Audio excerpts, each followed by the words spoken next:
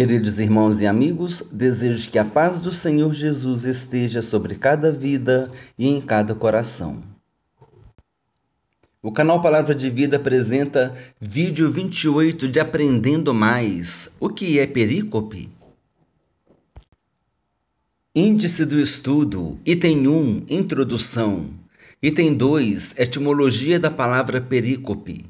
Item 3, o que é perícope? Item 4, utilização das perícopes. Item 5, qual a importância da perícope?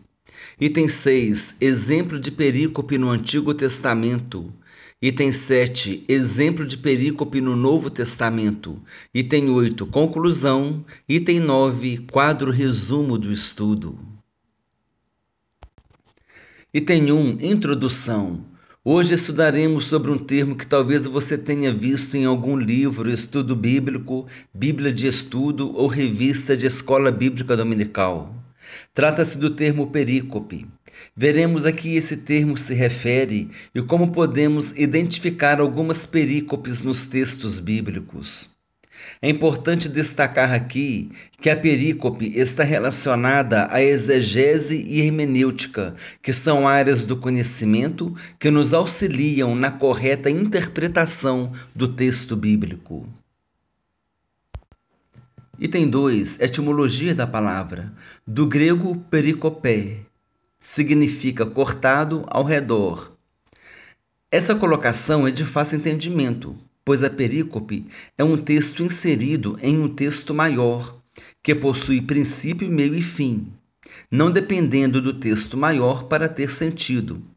Por isso, muitos sermões podem ter como texto base uma perícope. Item 3. O que é perícope? Citaremos a seguir alguns conceitos que têm como objetivo nos esclarecer o que é perícope. É necessária a atenção em cada conceito para que você tenha um bom entendimento sobre o assunto. 3.1 Perícope é qualquer trecho que possua princípio, meio e fim em uma narrativa bíblica. A perícope pode ser um capítulo, um versículo ou uma passagem bíblica. 3.2 Perícope faz parte de uma análise literária que procura delimitar um texto bíblico. A delimitação vai acontecer quando for encontrado o princípio e o fim do texto. 3.3 Perícope é uma porção de um texto que contenha uma proposição, uma ideia completa que o autor quis transmitir. 3.4 Perícope é uma parte destacada de um texto para ser analisada e estudada em separado. Uma perícope é, normalmente, o equivalente a um parágrafo da Bíblia Sagrada. Observação: é importante que a perícope tenha sentido completo, com princípio e o fim facilmente identificáveis. É comum que as perícopes tenham em seu início e em seu fim o que nós chamamos de marcas de lugar ou marcas de tempo. Veremos a respeito dessas marcas no decorrer do estudo. Item 4: Utilização das perícopes. As perícopes são utilizadas para a preparação de mensagens, pois são trechos separados para serem utilizados no estudo e na comunicação da mensagem bíblica. Poderíamos considerar que a perícope é o texto base escolhido da mensagem que vai ser pregada. Item 5. Qual a importância da perícope? A perícope é importante para que o pregador tenha bem delimitado qual é o texto que será utilizado na pregação. Dessa forma, ele vai evitar usar textos que estão em contextos diferentes. Para separar uma perícope, é importante ter conhecimento do livro no qual o texto maior está inserido. A seguir, é preciso reduzir o texto maior até a perícope que foi escolhida. Nos dias de hoje, muitas traduções das Bíblias têm os seus textos divididos em subtítulos, que podem corresponder a perícopes. Item 6. Exemplo de perícope no Antigo Testamento. Em nosso estudo, vamos ler o texto de 2 Reis, capítulo 2, versículos 23 a 25, que fala sobre Eliseu e os rapazinhos zombadores. Esse texto trata-se de uma perícope facilmente observada por ser uma história com princípio, meio e fim, tendo um sentido completo. Talvez sua Bíblia tenha uma divisão de títulos que também ajudará na identificação dessa e de outras perícopes. O texto bíblico diz assim: Então subiu dali a Betel, e indo ele pelo caminho, uns rapazinhos saíram da cidade e zombavam dele e diziam-lhe: Sobe, calvo, sobe, calvo. Virando-se ele para trás, viu-os e os amaldiçoou em nome do Senhor. Então duas ursas saíram do bosque e despedaçaram quarenta e dois deles. Dali foi ele para o Monte Carmelo, de onde voltou para Samaria. Então aqui nós vemos um texto que tem um início, meio e fim. Uma pequena história que tem um sentido completo. Esse texto é uma perícope. Item 7. Exemplo de perícope no Novo Testamento. Mateus capítulo 9, versículos 18 a 26. Essa passagem também está em Marcos capítulo 5, 21 a 43. Essa passagem em Marcos capítulo 5, 21 a 43, ela é mais detalhada do que a passagem de Mateus. O texto maior, Jairo vai ao encontro de Jesus. Perícope, a cura de uma mulher enferma texto maior.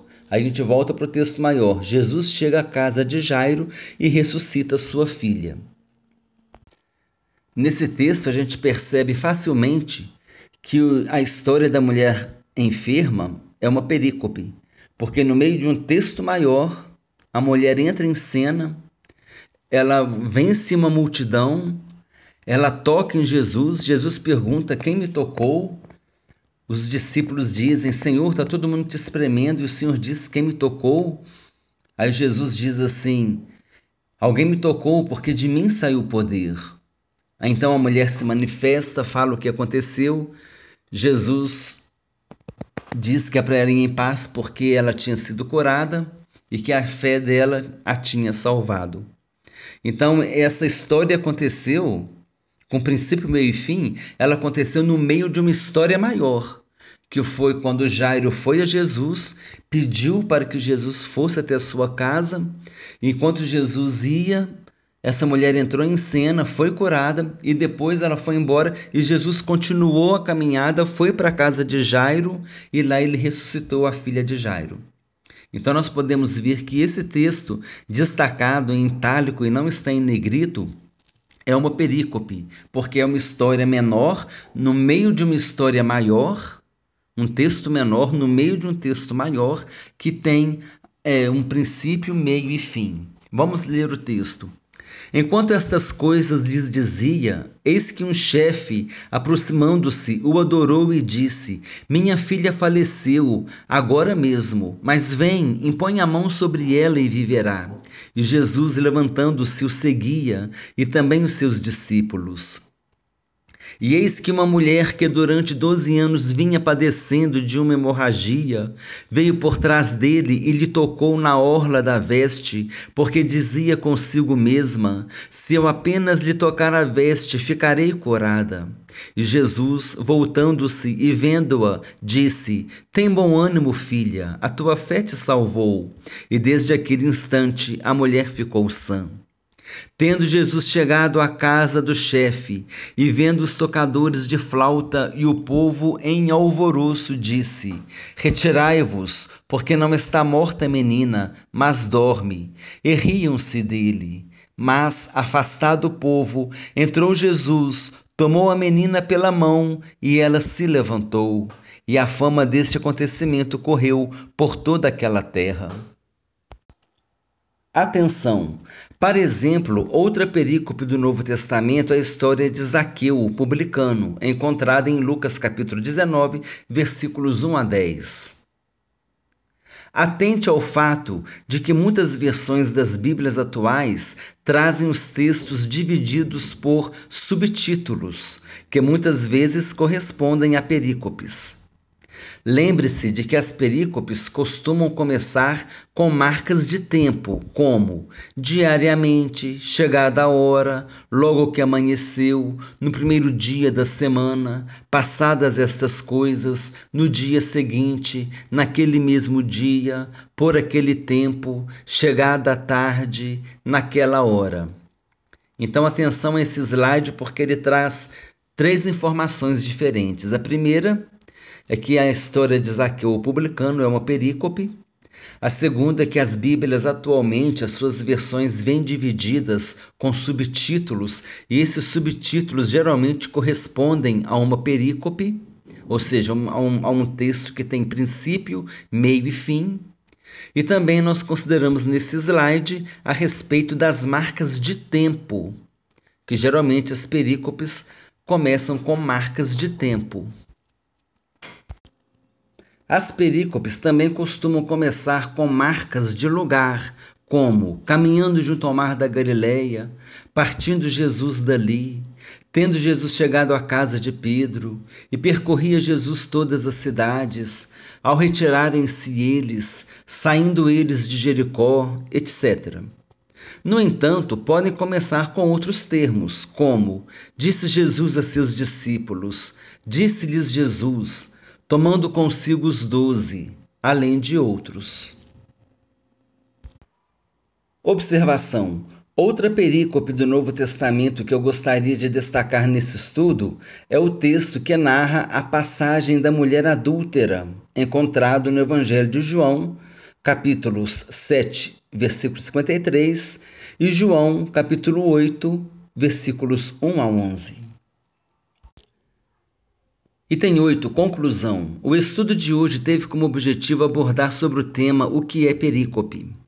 O conhecimento de tal assunto é importante para auxiliar os pregadores na preparação de seus sermões, pois uma mensagem bíblica precisa respeitar os limites do assunto que está sendo tratado, de acordo com o texto base separado para a mensagem.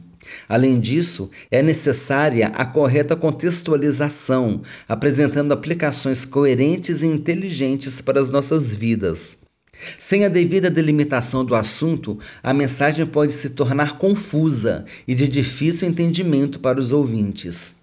É necessário delimitar o assunto e fazer abordagem dentro daquele assunto, tirando ensinamentos para as nossas vidas. Nada impede de lançar mão de um ou outro texto bíblico para ajudar na mensagem, para complementar na mensagem, mas a mensagem precisa estar centrada no texto base que foi separado para a leitura.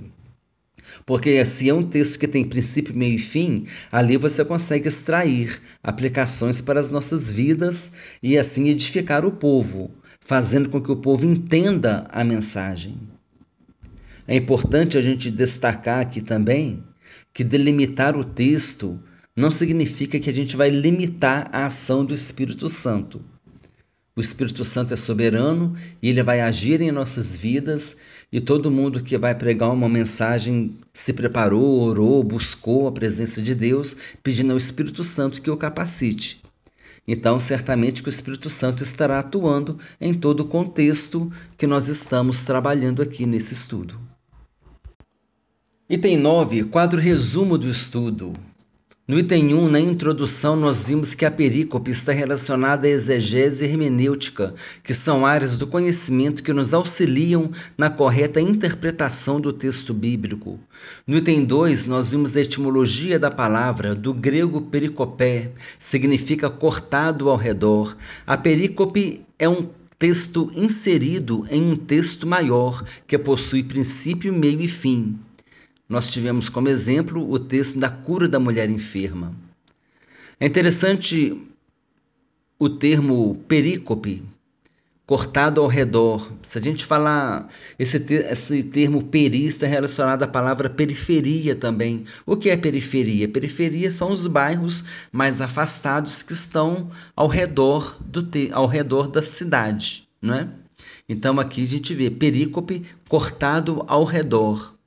Ou seja, um, é um texto que você tira de um texto maior e, e ele tem um sentido completo. Continuação do quadro resumo. No item 3, nós vimos os conceitos do que é perícope. O primeiro conceito: perícope é qualquer trecho que possua princípio, meio e fim em uma narrativa bíblica. A perícope pode ser um capítulo, um versículo ou uma passagem bíblica. Perícope faz parte de uma análise literária que procura delimitar um texto bíblico. A delimitação vai acontecer quando for encontrado o princípio e o fim do texto. Esse já é o segundo conceito. O terceiro conceito, perícope, é uma porção de um texto que contém uma proposição, uma ideia completa que o autor quis transmitir. E o quarto conceito, perícope, é uma parte destacada de um texto para ser analisada e estudada em separado. Uma perícope é normalmente o equivalente a um parágrafo da Bíblia Sagrada. Então, com esses quatro conceitos, mais as explicações e os exemplos dados no decorrer do estudo, acredito que tenha ficado bem claro o que é perícope. E acredito também que isso vai permitir que a gente olhe os textos bíblicos, a disposição das, do, do texto bíblico com os subtítulos. A partir de hoje, acredito que a gente vai olhar com outros olhos. Continuação do quadro resumo. No item 4, utilização das perícopes. As perícopes são utilizadas para preparação de mensagens. Item 5. Qual a importância da perícope? A perícope é importante para que o pregador tenha bem delimitado qual é o texto que será utilizado na pregação. Dessa forma, ele vai evitar usar textos que estão em contextos diferentes.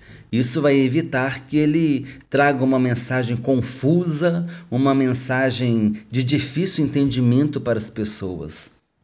No item 6, exemplo de perícope no Antigo Testamento, no livro de 2 Reis, capítulo 2, versículos 23 e 25, que fala sobre Eliseu e os rapazinhos zombadores. Item 7, exemplo de perícope no Novo Testamento, continuando o quadro resumo, nós apresentamos três exemplos para ilustrar o estudo: a cura de uma mulher enferma, a história de Zaqueu, a mulher adúltera. Essas três passagens como exemplos de perícopes no Novo Testamento. As perícopes costumam ser iniciadas com marcas de tempo, como por exemplo no dia seguinte, ou marcas de lugar, como por exemplo partindo Jesus dali. Há outras, há outras palavras, outros termos usados para iniciar uma perícope, mas as marcas de tempo e as marcas de lugar estão bastante presentes. Item 8. Conclusão. O objetivo do estudo foi abordar sobre o tema perícope, sua importância, delimitar o texto da mensagem para evitar mensagens confusas e fora do contexto é importante contextualizar a mensagem para os dias atuais, com aplicações para as nossas vidas. E vale reforçar que você usa um texto delimitado como texto base da mensagem e nada impede que você faça referência a outros textos. Mas é importante ter em mente que o texto base da mensagem, com princípio, meio e fim, ali você poderá extrair aplicações para as nossas vidas, para as vidas dos ouvintes.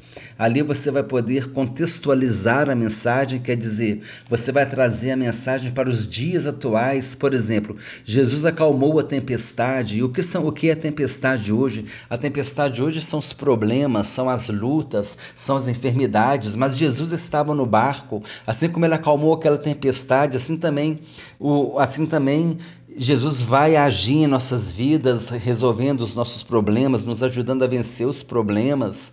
Os discípulos estavam estavam com problema e eles foram a Jesus, assim também nós, nós estamos com problema, devemos ir até Jesus, apresentar a Jesus o nosso problema. Eles falaram: Senhor, a tempestade está forte, não importa que pereçamos.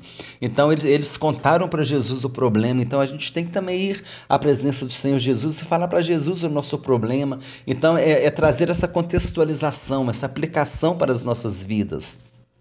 E claro, também é importante destacar aqui, para que não haja nenhum mal entendido, tudo isso debaixo da dependência do Espírito Santo que vai nos capacitar a levar uma mensagem que venha exortar, edificar, consolar e ser bênção para aquelas pessoas que estão nos ouvindo. Precisamos tomar cuidado para não levar mensagens confusas, mensagens fora de contexto. Precisamos ter zelo, precisamos separar um tempo para preparar a mensagem, para pesquisar, para estudar, para fazer algo com coerência e, e certamente uma mensagem que glorifique o nome do Senhor Jesus. O canal Palavra de Vida apresentou o vídeo 28 de Aprendendo Mais, o que é perícope. Não deixe de conferir os vídeos sugeridos na descrição do vídeo. Eu quero destacar três mensagens aqui, três vídeos. A mensagem Eliseu e os rapazinhos zombadores, a mensagem A cura de uma mulher enferma, que foi a primeira mensagem do nosso canal, e o estudo bíblico lendo corretamente os livros da Bíblia. Esses três links estarão na descrição do vídeo. Eu te convido, no decorrer da semana, a assistir esses vídeos. Desejo que Deus abençoe a todos abundantemente, em nome do Senhor Jesus Cristo.